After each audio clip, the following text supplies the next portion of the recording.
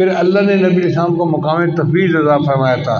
اللہ فرماتے ہیں بفل عمری اللہ یہ نبی السلام کا قول ہے کہ اے اللہ، میں اپنے تمام امور کو آپ کے سفرد کرتا ہوں۔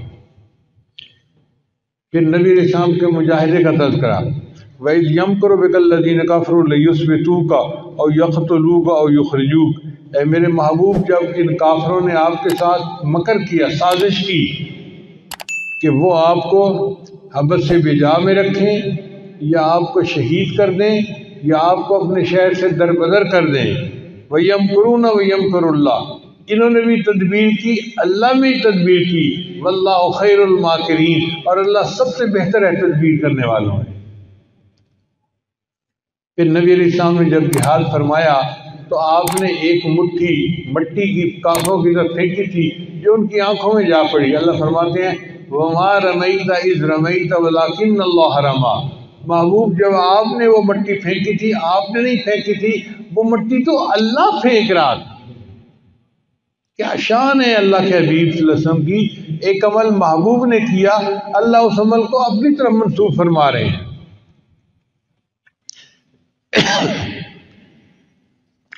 پھر نبی رسام کس مقصد کے لیے دنیا میں آئے؟ اللہ فرماتے ہیں ان ارسلنا کا شاہدم و بشرم و نذیرہ و دائین اللہ بإذنہ و سراجم منیرہ پھر اللہ نے قرآن مجید میں اپنے محبوب کے حزن کا غم کا تذکرہ کیا۔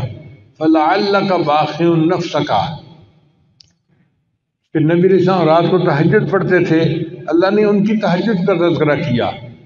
ان ربا کا یا علم ان کا تقوم ادنا من ثلثی اللیل و نصفہ و ثلثہ و طائفۃ من الذین معاک پھر نبی علیہ السلام کن کے لیے نبی بنا کر بھیجے گئے؟ اللہ فرماتے ہیں، وما ارسلناک الا کافۃ للناس بشیرا و نذیرا جتنے انسان ہیں، جہاں تک انسانیت ہے، ہم نے ان تمام انسانوں کے لیے آپ کو بشیر اور نذیر بنا کر بھیجا۔ پھر نبی اسلام کا جو وقت فرصت کا ہوتا تھا، اس کے بارے میں اللہ فرماتے ہیں فیضا فرق فنصب اور جب آپ اپنے منصب سے فارغ ہو جائیں ویلا رب کا فرغب، آپ اپنے رب کی طرف رغبت کیجیے، اپنے رب کا یاد کیجیے، اپنے رب کے رغب پھر نبی علیہ السلام کی امت کو اللہ نے بہترین امت بنایا۔ اللہ فرماتے ہیں امتم وسط التکون شہداء الناس و یکون رسول علیکم شہیدہ ہماری یہ امت پہلی تمام امتوں کے اوپر گواہی دے گی قیامت کے دن۔ اب سوال پیدا ہوگا کہ یہ گواہی دیں گے تو یہ تو تھے نہیں، انہوں نے گواہی کیسے دی؟ تو مفسرین نے لکھا کہ یہ امت کہے گی کہ ان امتوں کا تذکرہ اللہ نے قرآن مجید میں کیا تھا، ہم نے قرآن مجید میں پڑھا تھا، لہذا ہم گواہی دیتے ہیں کہ ان امتوں کے ساتھ یہ معاملہ پیش آیا۔